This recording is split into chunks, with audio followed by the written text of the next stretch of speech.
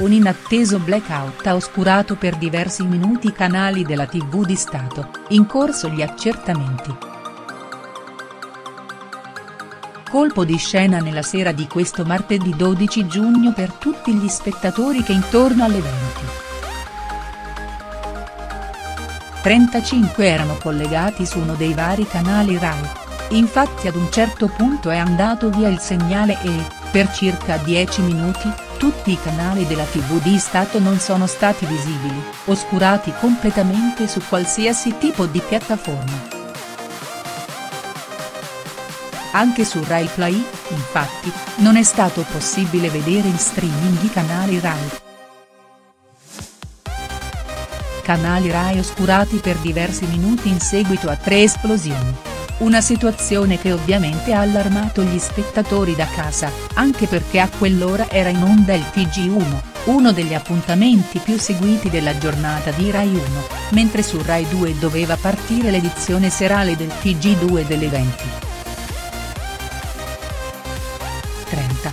Ecco allora che in tantissimi si sono riversati subito sui social, in particolar modo su Twitter per cercare di capire cosa fosse successo.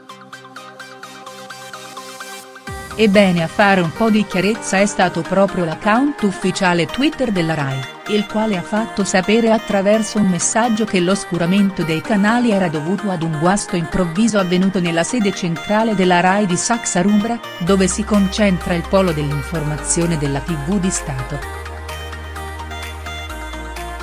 Un imprevedibile guasto tecnico che si è verificato in seguito all'esplosione di ben tre batterie della centrale elettrica di Saxa Rubra.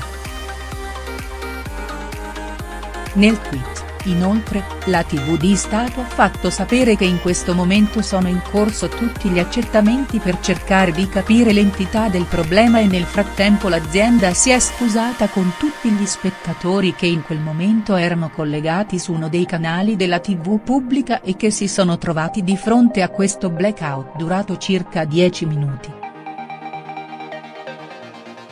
Wind Music Airs in onda regolarmente su Rai 1 nonostante il guasto. Su Twitter in tantissimi si sono chiesti cosa fosse successo dato che un guasto del genere non si era mai verificato forse nella storia della televisione di Stato. In molti hanno temuto che potesse saltare la seconda e ultima puntata dei Wind Music Airs lo show musicale condotto da Carlo Conti e Vanessa Incontrada in onda proprio nella stessa serata su Rai 1.